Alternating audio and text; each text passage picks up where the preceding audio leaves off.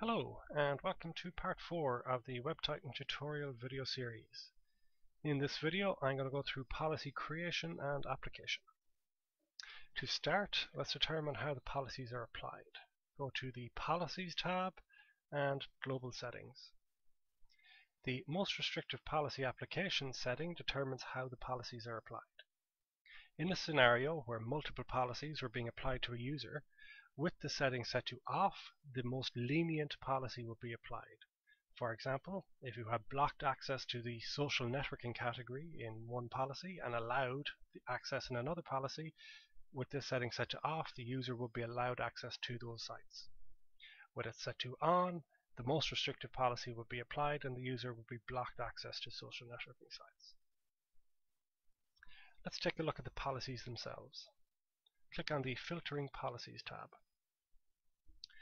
We have some pre-created policies here. These are default on all WebTitan machines.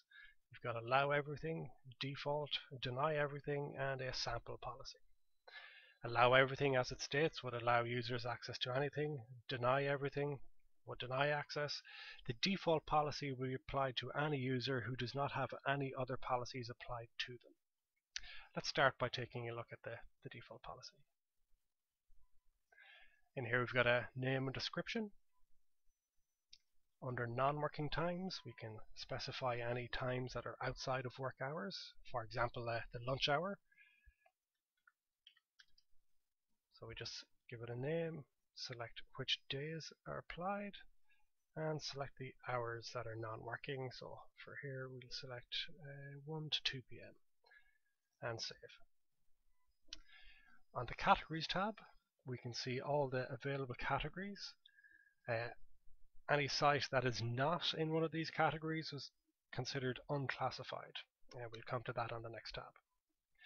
Here we can specify what sites we wish to allow or block access to and whether it's during work or non-work hours. For example, we can block alcohol-based sites during work time but not during non-work time, block anonymizer all the time, and so on. Uh, you can customize these as you wish. The web filter tab gives us multiple options. Uh, the filtering option on and off determines whether the policy is in use or not. Block internet access will simply turn off internet access for anyone who has this policy applied to them. Block URLs or all URLs would simply block access to all URLs. Block IP address URLs would allow name-based URLs but block IP-based URLs. You can allow or block HTTPS traffic. You can allow or block unclassified HTTPS traffic. So again, that would be any site that has not yet been categorized. We can also allow, allow or block unclassified HTTP traffic. URL content filtering. This enables WebTitan to analyze all the words in a URL uh, and search for a certain amount of keywords. Uh, a score will be given to the URL based on the keywords it contains, uh, and then access will be allowed or blocked based on that score.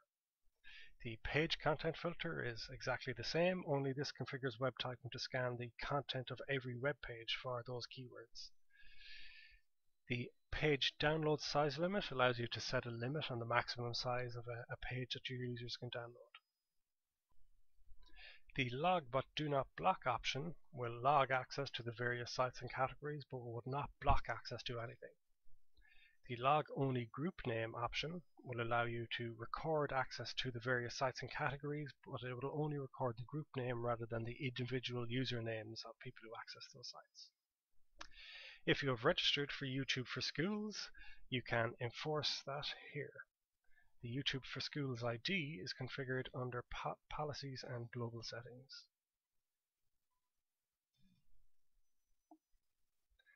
The File Types tab allows us to specify which file types a user can or cannot have access to.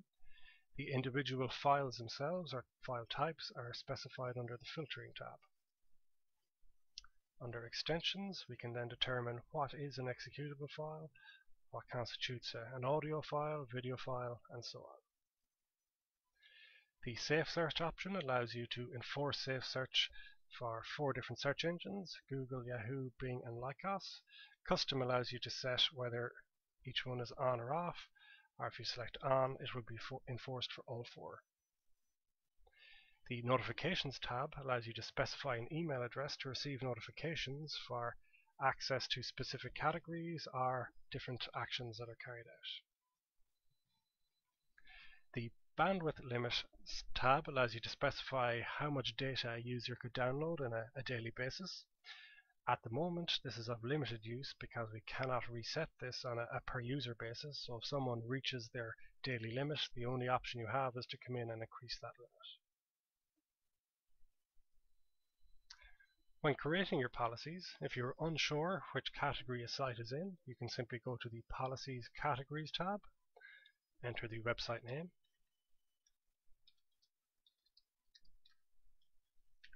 and click Lookup. This will tell you which category or categories a site is part of. If you suspect that a site has been miscategorized, you can submit feedback here, enter the URL, and select which category or categories you think the site is in. If you wish, you can also create custom categories. This can be useful for providing access to sites that are not currently categorized if you have access to those unclassified sites turned off. That concludes this video. Thanks for watching. Please move on to video 5 where we'll discuss the available reports and history. Thank you.